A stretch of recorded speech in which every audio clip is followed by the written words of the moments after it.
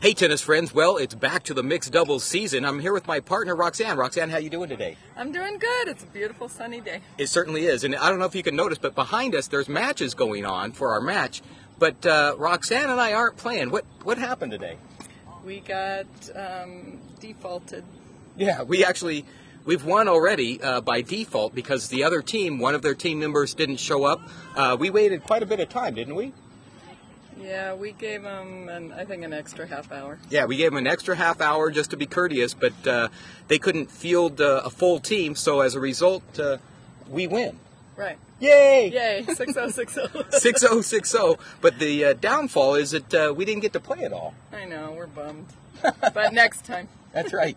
So sometimes that does happen. So we'll see you next time with a lot more tennis outside the lines.